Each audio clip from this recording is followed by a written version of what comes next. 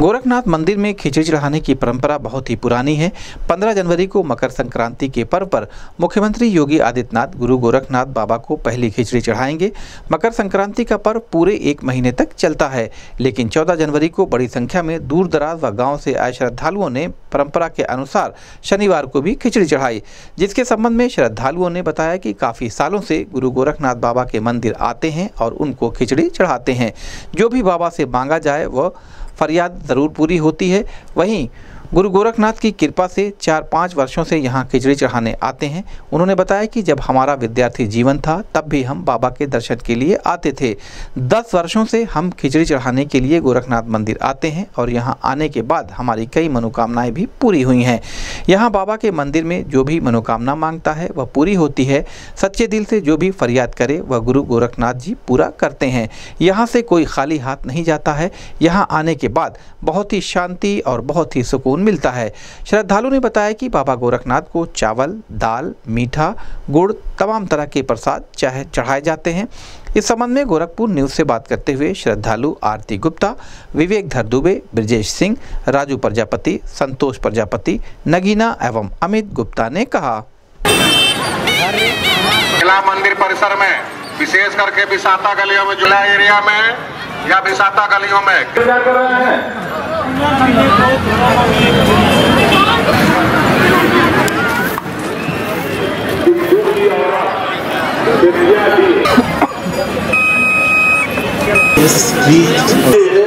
झुमका जो मंदिर के अंदर मिला है जिनका भी हो वो उत्तर प्रदेश के सबसे मुख्यमंत्री के परम महाराज जी के किसी भी समय में कोई असुविधा न होने पाए इसकी पूरी नज़र रखी जा रही है आप निश्चित ही परम सौभाग्यशाली हैं आज इस पावन पर्व पर शिवावतारी भगवान गुरु यहाँ पर आज भगवान गुरु गोरखनाथ जी को दर्शन करने पर लाभ प्राप्त हो रहा है।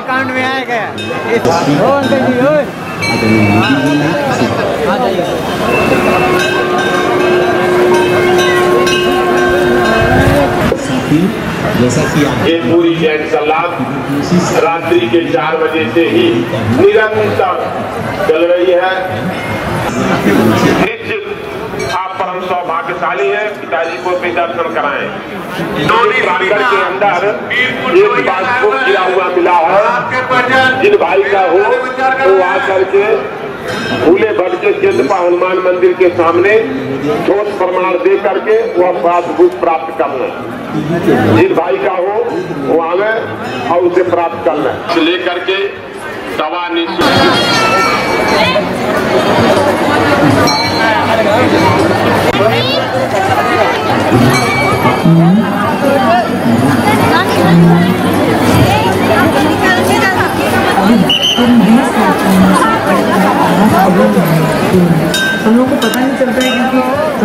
अच्छा भाग ज़्यादा लिए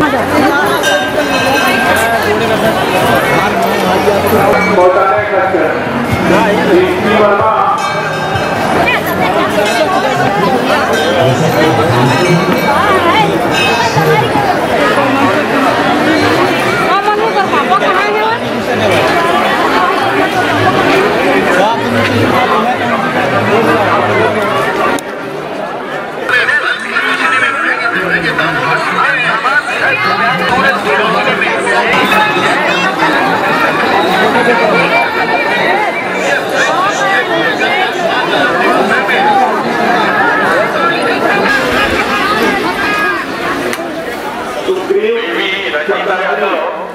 नगीना।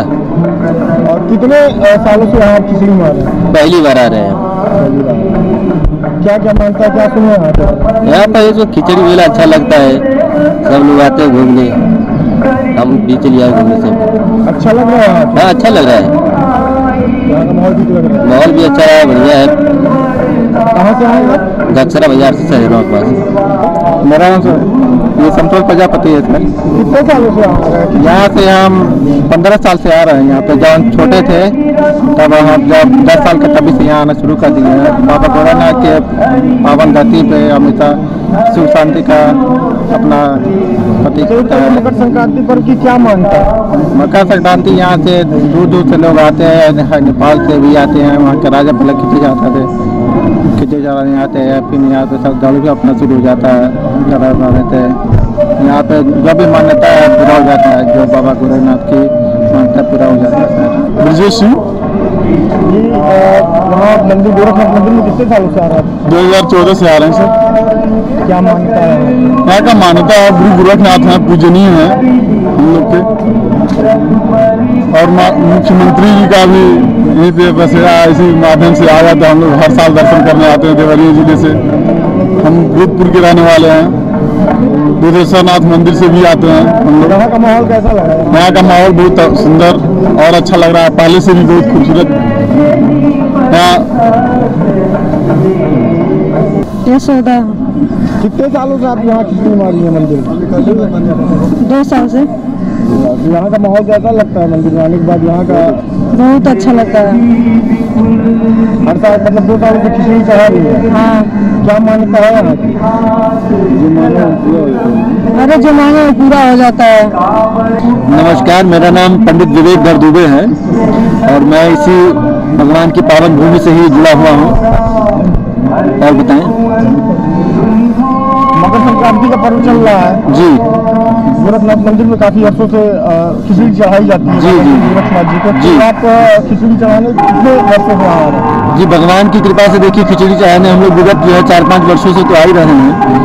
और जब खिचड़ी हम नहीं चढ़ा पाते जब विद्यार्थी जीवन था तब भी भगवान का दर्शन करने हम अवश्य आते थे। और महाराज जी की विद्यालय महाराणा प्रताप से हम लोग अध्ययनरत है तो हम लोग एनसीसी में यहाँ ड्यूटी भी की है। तो मंदिर से बड़ा ही आत्मिक लगाव हम लोग का रहा है। और आज देखिए सायंकालीन दर्शन करने आए हैं और सुबह भगवान चाहेंगे तो अवश्य खिचड़ी चढ़ाने भी हम लोग आएँगे। यहाँ की क्या मान्यता? सबसे ज़्यादा यहाँ की महत्ता देखिए ये है कि जो भी मान्यता मान करके आप भगवान को खिचड़ी चढ़ाने का वो करते हैं और खिचड़ी चढ़ाते तो आपकी मन्नत ज़रूर पूरी होती है। ये तो यहाँ की मानी हुई बात है। से आप?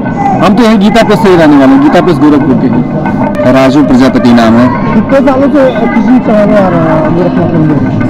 यहाँ पे सर दस सालों से हम आ रहे हैं खिचड़ी चढ़ाने। जी। लगता है बहुत अच्छा लगता है सर यहाँ पे आकर के। बहुत खुशी मिलती है सर यहाँ पर आकर के। एक अच्छा सा अनुभव होता है यहाँ पर आकर के भगवान जी का दर्शन। अभी तो हम लखनऊ से आए हैं, सर।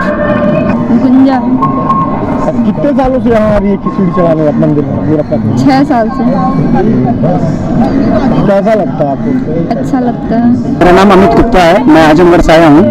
और बाबा गोरखनाथ मंदिर में और दर्शन करके हमको बहुत अच्छा लगा यहाँ पे। यहाँ की सारी व्यवस्थाएँ इतनी अच्छी है कि देख के सब बहुत खुशी मिली। और तकरीबन मैं दस साल से आता हूँ। जब भी आता हूँ तो दरबार में दर्शन करके मैं जाता हूँ और सब कुछ बहुत बेटर है बहुत अच्छा ही है। क्या मान्यता है यहाँ? यहाँ की मान्यता? क्या है? जो भी सिस्टम है सब कुछ बहुत अच्छा है मतलब। क्योंकि मैं आजमगढ़ से रहने वाला हूँ यहाँ का निवासी तो हूँ नहीं। और आता हूँ सिर्फ़ दर्शन करके मैं चला